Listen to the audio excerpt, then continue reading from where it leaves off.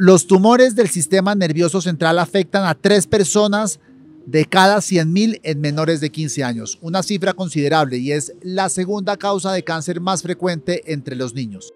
Querida audiencia, un nuevo episodio de Cuida tu Salud, un espacio donde nos reunimos y hablamos con expertos de la salud para abordar el tema que es del interés de todos nosotros, nuestra salud.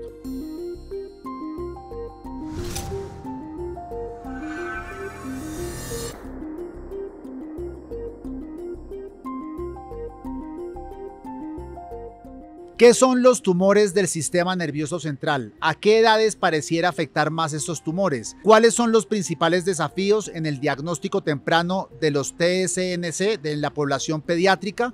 Mi nombre es Diego Santos y nos acompaña la doctora Adriana Fajardo, neuróloga pediatra, especialista en neurología infantil y jefe de sección neurología pediátrica de la Fundación Santa Fe de Bogotá. Bienvenida a Cuida tu Salud, doctora Fajardo. Muchas gracias. ¿Cómo llega usted a la medicina? ¿Cómo llega usted a ser doctora? Algo que eh, tuve muy presente para escoger mi carrera fue en qué área podría yo ayudar más a la gente. No solo pensando cómo podía conseguir un buen trabajo, un buen empleo y un buen dinero, sino donde podría aportarle más a otras personas. Entonces era una buena combinación y escogí estudiar medicina por eso. Entremos en materia, doctora. ¿Qué son los tumores del sistema nervioso central? Y se dicen así o también se dicen TSNC.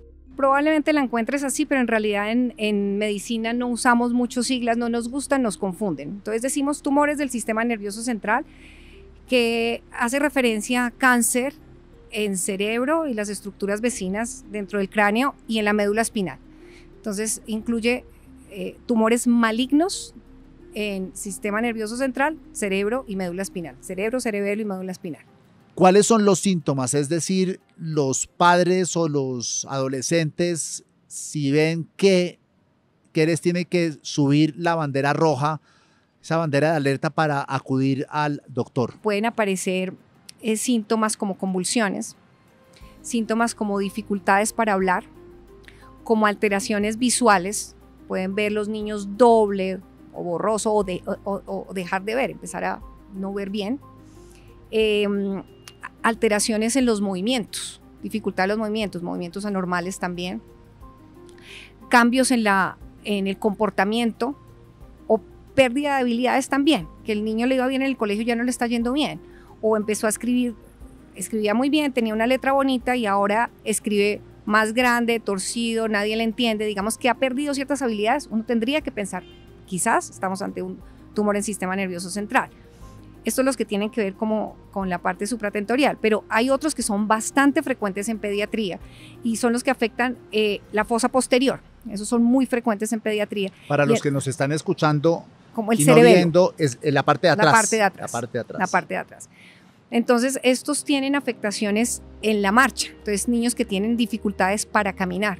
Caminaban normal y empiezan a caminar diferente, como si estuvieran borrachitos. O empiezan a hablar con dificultad también, como si, como si estuvieran borrachitos. Eh, alteración en la coordinación, temblor. O sea, un dificultades tema motriz. Sí, de coordinación eh, vómitos, que eso esté acompañado de vómitos o dolores de cabeza que en su, de forma general podríamos decir que se presentan más eh, matutinos, tempranos en la mañana, lo mismo que los vómitos. El vómito es un signo de alarma importante. Un niño que no tiene diarrea, no tiene fiebre y está vomitando y vomita, no es fácil eh, detener el vómito, son vómitos que denominamos en proyectil. Entonces, muy fuerte. Cualquier síntoma de estos neurológicos que acabo de mencionar, uno tendría inmediatamente que pensar, es posible que estemos ante un tumor. No necesariamente, pero es una primera posibilidad que tenemos que descartar. En los, en los niños pequeñitos, hablo de niños no verbales, lactantes, por ejemplo, es muy importante también la medición del perímetro cefálico. Entonces, niños que eh, les aumenta el tamaño de la cabeza, bebés que todavía no se ha cerrado completamente, no está hermético su cráneo, y hay una parte en la, eh, cabecita, en la parte anterior, que, los papás les da miedo tocar, se llama la fontanela, que puede estar abombada, ¿cierto? Normalmente no tiene por qué estar abombada. Y que esté de esa manera, niños que están muy irritables, bebés que están muy irritables, que cambiaron su comportamiento el, papá dice es que está o muy dormido, todo el tiempo duerme, está vomitando o está muy irritable, vomita, eh, y cualquiera de los síntomas que yo mencioné antes, ¿cierto? Eh, como pérdida de fuerza de, alguna de sus extremidades. Pero en estos bebés chiquitos, eh, la fontanela, el tamaño de la cabeza y alteración en el estado de conciencia, llámese somnolencia o irritabilidad, son signos de altísima alarma para pensar y descartar un tumor en sistema nervioso. ¿Y ya el diagnóstico se hace con algún aparato, una muestra de sangre o...? Sí. Eh, digamos que existen varios exámenes que necesitamos, pero en principio y lo que uno eh, ordenaría primero es una neuroimagen. Primero un buen examen neurológico, por supuesto, saber si en efecto tenemos una focalización, llamamos en, neurología, si hay estos síntomas que se presentan ubican algún sitio específico de lesión probable en el sistema nervioso. Siendo así, pedimos una imagen, nos apoyamos de resonancia magnética de cerebro, que es el examen ideal, ya no usamos tanto TAC, aunque algunas veces lo usamos. Podemos usar espectroscopía para tipificar esas lesiones. Y claro, hay exámenes de sangre que nos ayudan sobre todo desde el punto de vista de marcadores, se llaman marcadores tumorales en ciertos específicos tumores del sistema nervioso. No en todos se piden, pero hay unos marcadores que sí nos ayudan. La imagen es muy importante. Una vez se determina que el paciente padece de un tumor del sistema nervioso central, ¿Cuáles son los pasos? Y, pregunto porque para un niño de 5, 6, 7 años no debe ser lo mismo que contárselo a un niño de 14 o 15 años. Y el papá, ¿cómo, cómo entran ahí los papás en esa, mm, en esa noticia que no es la que uno quisiera recibir? Claro. Sí, eh, la Fundación Santa Fe de Bogotá se caracteriza porque trabajamos en equipo diferentes especialidades.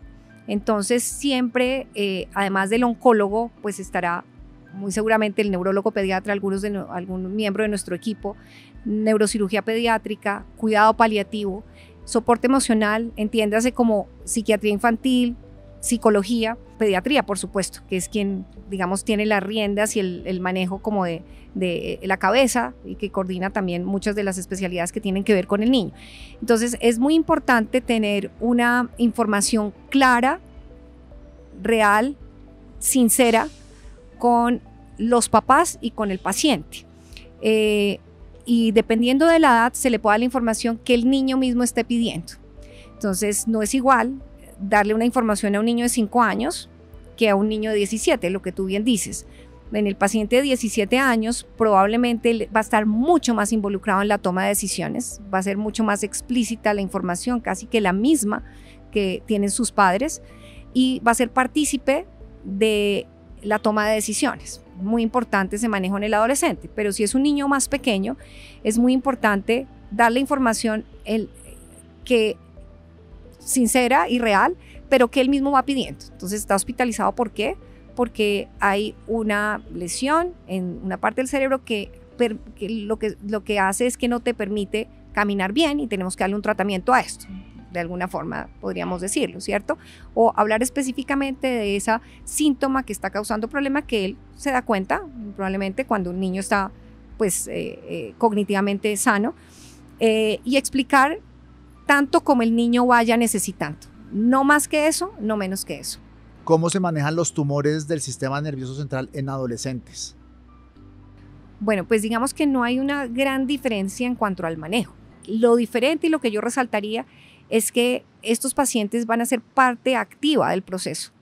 Hay que involucrarnos, involucrarlos y em, pues ser parte de, la toma de decisiones, de la toma de decisiones cuando, eh, digamos, su condición clínica lo permite, ¿no? Hay niños que pueden estar muy comprometidos y entonces, pues claramente no pueden tomar las decisiones ni, estar muy, muy partícipes en, la, en el proceso terapéutico.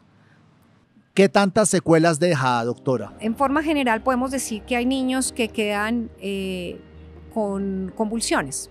Entonces tendremos que acompañarlos y ayudarles con un tratamiento con anticrisis, anticonvulsivantes, ¿cierto? Puede que tengamos niños que, tienen que vayan a tener un compromiso motor, que no puedan mover cierta parte de su cuerpo, medio lado, las cuatro extremidades, una extremidad, dependiendo. Puede tener un compromiso visual, dependiendo de la localización también. Eh, pueden tener una alteración en su capacidad de caminar o la estabilidad de la postura. Entonces, estos niños con compromiso motor pues van a tener que eh, tener un acompañamiento eh, desde el punto de vista terapéutico con terapia física, terapia ocupacional, terapia lenguaje. Algunos niños pueden perder lenguaje o quedar con secuelas para pronunciar de forma adecuada, para hablar, ¿no? Entonces, tendremos que esas secuelas, ¿cierto? Ayudarles con un manejo rehabilitador en este caso, con las terapias correspondientes y con los medicamentos que requieren, ¿cierto? Muchas veces necesitamos, lo que mencioné, anticonvulsivantes, medicamentos para el manejo de los movimientos anormales, en muchos casos utilizamos, y cuando dije manejo multimodal, para la inflamación de ese cerebro, podemos utilizar corticoides que nos van a ayudar a, desinflamar previamente o incluso después de la cirugía. Eh, es muy individual la secuela que va a quedar y hay pacientes que claramente van a quedar muy comprometidos o por la extensión del tumor o por la agresividad del tumor, que va a ser mucho, pues más, mucho más maligno que otros, pues compromiso del estado de conciencia. Hay niños que desafortunadamente pues van a estar postrados sin poder responder ni identificar a sus padres, a sus amigos, a sus hermanos, eh, sin poder responder al, al medio, eh, pues niños que van a quedar muy limitados y que la idea es evitar complicaciones de esas secuelas. Es decir, ya tenemos una secuela neurológica, pero que esto no vaya a agravarse con retracciones, por ejemplo, de las extremidades, con escaras. Entonces, darle, evitar complicaciones de las mismas secuelas. Doctora, ¿los tumores en menores de edad crecen a un ritmo más rápido que si se produjera en un adulto? Depende de la malignidad, del grado del tumor.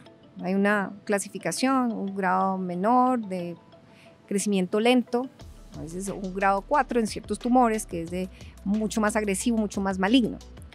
Eh, esto es más agresivo, vamos a decir, un tumor, un glioma de alto grado, grado 4, va a crecer mucho más rápido que un glioma eh, grado 1, ¿cierto?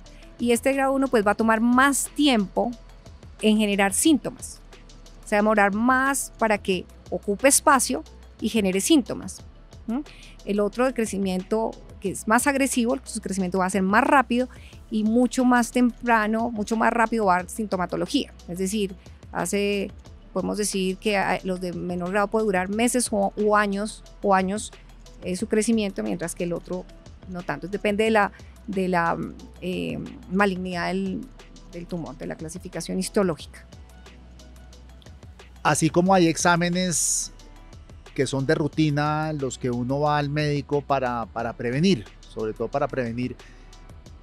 Se recomienda, por ejemplo, que cada dos, tres, cinco años menores de edad acudan a exámenes médicos para que se les practique eh, ese examen, ese examen del, del, del, cerebro y demás, o no es recomendable? En realidad no. Este seguimiento tan riguroso lo hacemos a partir del diagnóstico de, de neurología. Sin embargo, pues estar yendo a unos controles juiciosos de crecimiento y desarrollo, el control habitual con su pediatra, es suficiente para que un pediatra identifique estos signos de alarma y estos posibles síntomas sospechosos de un tumor, tumor en sistema nervioso central, ¿cierto? Entonces no es necesario ir al neurólogo para, eh, para hacerle un examen y decir, oh, aquí hay algo raro, puede ser un tumor. No, el pediatra está eh, completamente capacitado y es capaz de identificar estos signos de alarma, y son muy buenos en rápidamente solicitar las imágenes correspondientes o en remitir cuando es el caso. Doctora Fajardo, ¿alguna otra pregunta, alguna otra asunto que le gustaría hacer énfasis antes de, antes de despedirnos? Cuando haya algo sospechoso, algún síntoma que al papá o la mamá no les parezca normal en su niño, cualquiera que sea. Es un niño que cambió el comportamiento, es un niño que se está portando diferente, está más agresivo que no lo era, es un niño que está hablando raro, que perdió habilidades en el colegio, que empezó a irle mal en el colegio sin un motivo claro, ¿cierto? Que no está moviendo un, lado del cuerpo, que en su clase vale dicen que ya no tiene la misma estabilidad que antes.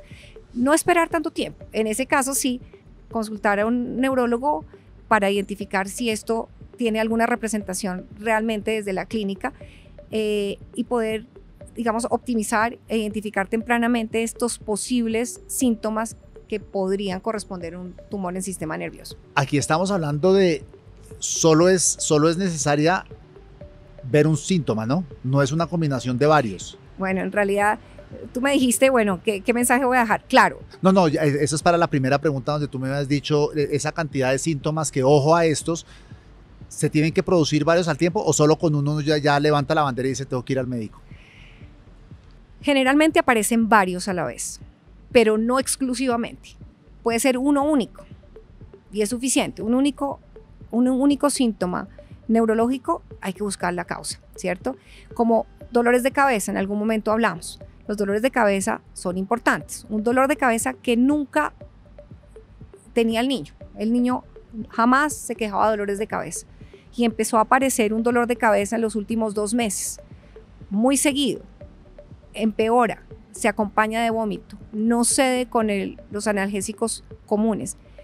Esto es un signo de alarma. Eso asociado a alguno de los otros síntomas que son múltiples. Hablamos, depende de la localización pero esto, por ejemplo, sí nos orientaría y nos alarmaría, sería una bandera roja. Entonces, dolor de cabeza, vómito asociado.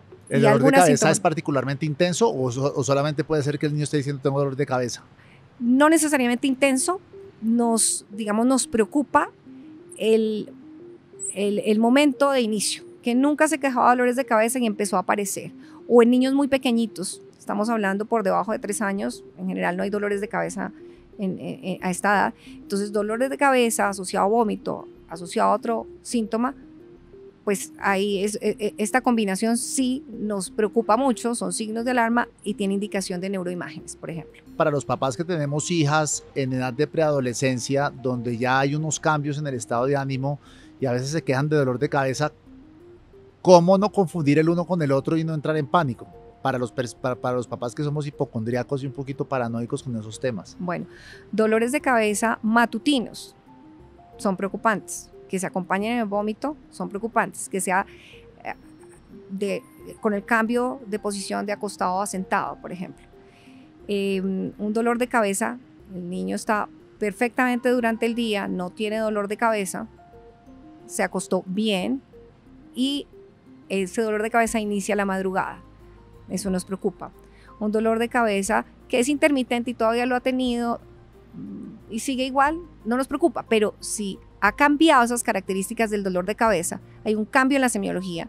Antes le dolía siempre acá y era muy pulsátil, pero ahora le duele toda la cabeza, principalmente atrás, y no mejora con los analgésicos, analgésicos hay un cambio en la sintomatología. Es diferente el dolor de cabeza. Eso nos preocupa. Es un signo de alarma también. O sea, unas características del dolor que sí, digamos, nos, nos hacen pensar en descartemos algo muy grave. Doctora Fajardo, muchas gracias por su tiempo y por este espacio. Muchas gracias por invitarme, Diego. Y a ustedes que nos ven y nos escuchan, les agradecemos también. Esperamos que la próxima semana nos volvamos a conectar. Llevamos más de 120 capítulos y muy importante que conozcamos acerca de esas enfermedades porque el conocer también nos da una tranquilidad mental y, sabemos, y sabremos cómo abordarlas. Estamos en Spotify, en YouTube, todas las semanas un episodio nuevo. Cuida tu salud, feliz semana.